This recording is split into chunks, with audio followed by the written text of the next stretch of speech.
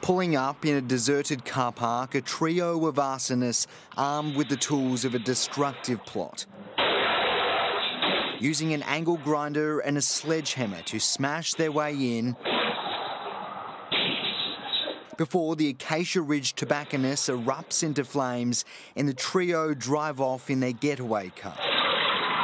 Fire crews rushed to the scene, they themselves forced to cut their own path to bring the blaze under control. Once we gained entry, um, the fire was quickly extinguished. In daylight, it was clear the business had been destroyed, the owner unsure why she was targeted. We don't mess up with anyone. I don't know.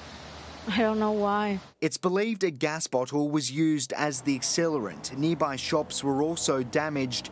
Debbie Pelkey fears her TAB store may be closed for months, needing a full rebuild. And this stuff happens a lot with all the smoke shops going on. I'm sure the impact of all of it will hit afterwards. But this store may have been the wrong target, with sources within the tobacco industry fearing legitimate businesses are getting caught in the crossfire of an illicit turf war. People like, you know, myself and you know, small business owners of shops are getting affected. As the arsonists responsible remain on the run.